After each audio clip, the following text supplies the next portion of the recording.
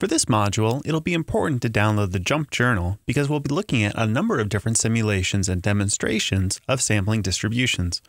First, let's open the Seeing Sampling Variability section, and what I'm going to do is click on the first link to Random Squares.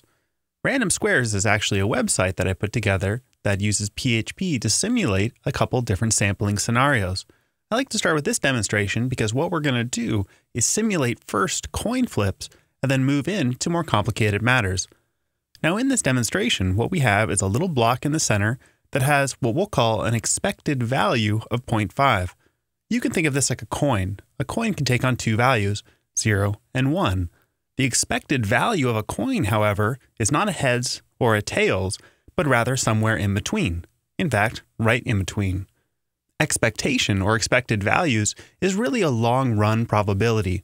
If we were to take a million flips of a coin, we would expect 500,000 of them to be heads and 500,000 of them to be tails. Of course, if we flipped a million coins, we may not get exactly 500,000, but mathematical expectation is very specific here. We expect 0.5 of all the flips to be heads. So, this little block here is one coin. And if I click the button at the bottom, this page will return a new value for this coin. Notice, every time I click it, we get another random draw. Now let me orient you to the bottom. We have a measure of the total. In this case, we only have one coin, so it's simply adding up the value of 0 or 1 on each flip. We also have a measure of the mean. This will be more important later as we start looking at the mean of several independent random events. Finally, we have a listing of the expected value. On this page, we could actually change the expected value of this coin, for instance, if the coin was biased. All right, so now that we know what this simulation is doing, that is, every time I click the button, a new flip of the coin, let's consider what type of sampling error we get every time we flip this one coin. Remember, sampling error is a measure of how far were we from the population value. In this case, we're talking about the population value of a random process, that is, the expected value of all coin flips that could ever happen. Well, the expected value here, if we're treating heads and tails as zeros and ones, the expected value is 0.5. So every flip of this coin that I do, I'm getting some sampling error. Notice there's no possible way I could flip a coin and get a value of 0.5. I can only get a heads or a tails. So every sample will have sampling error. Now, if I were to click this 100,000 times, what types of outcomes would we get? I certainly don't want to click this button 100,000 times, so let's instead have JMP simulate this one block for us. To do this, go ahead and click the binomial link under Seeing Sampling Variability. This will bring up an empty dataset that has three columns. The mean if we take a sample of size 1, that is, if we have one coin or one block in this grid. The mean if we take samples of size 4, we'll see this in a second with four blocks, or the mean if we have samples of size 100, that is, 100 little blocks that are each taking on random values. Let's see how we're going to make JMP do this. I'm going to right click the mean n equals 1 column and go to the formula. In the formula, you'll see that we have a function here. It's called a random binomial that's taking two arguments, 1 and 0.5. Then I'm dividing that whole numerator by 1. Let me recreate this formula and step you through what I'm doing. In the functions group, you'll see a section called random. Random will return random numbers from particular distributions.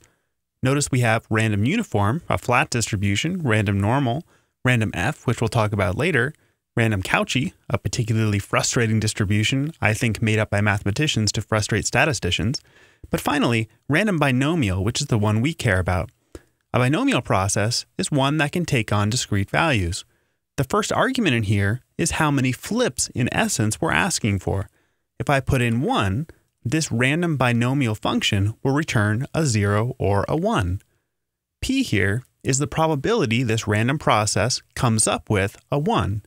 In this case, this is linking to the expected value. I'll put in 0.5.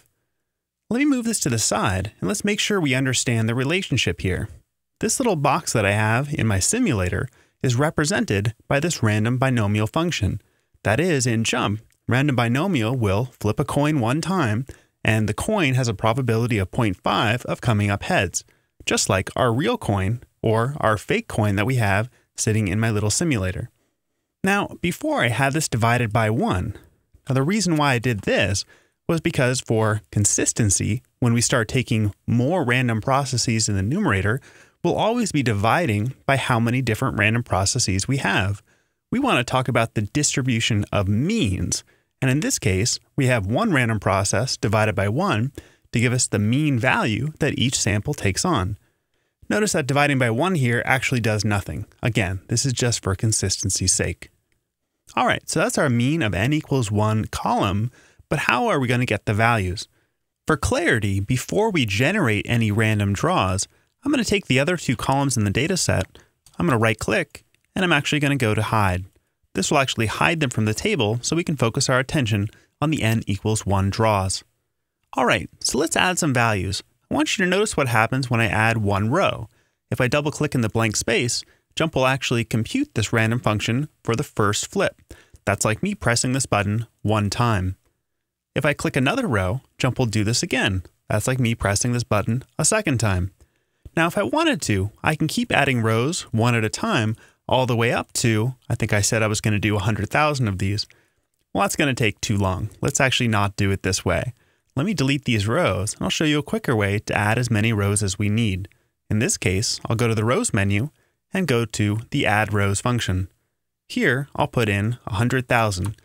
So again, I'm going to be asking JMP to, in essence, click this button for me using its own function 100,000 times. Let me click OK. Just to prove it to yourself, you can scroll down in the table and see we really do have 100,000 rows here, each a binomial process with a sample size of 1, that is, one block. Now, let's look at what we observed over these 100,000 samples. To look at the distribution of this mean n equals 1 column, I'll go to the Analyze menu, select Distribution, and I'll take the mean n equals 1 column and put it into the Y role. Now before we look at any of these statistics, let's actually just look at the histogram of what we observed. Over all of these flips, that is over all of the 100,000 samples we took of sample size 1, we got a lot of heads and a lot of tails. In fact, almost exactly the same number of heads and tails. This might be something we expect. Over that many flips, we expect to get pretty much exactly the same numbers of heads and tails. But remember, each sample that we took, each sample of size 1, has sampling error. Remember that each sample is in essence trying to approximate the expected value of 0.5. No sample was able to do this though, because any of the samples in which I got a 1, well, that has sampling error of positive 0.5, and any of the samples in which I came up with a tails, a 0, I had negative 0.5 sampling error. So we have sampling error here, but none of our individual samples ever got it spot on. Now overall, let's look at the summary statistics. Over all the samples, these averaged out to be pretty darn close to our expected value, 0.49913, it looks as though we got a few fewer heads than we expected, but we always expect some sampling error. So even though we had 100,000 samples, we don't expect to get exactly 50,000 heads and 50,000 tails.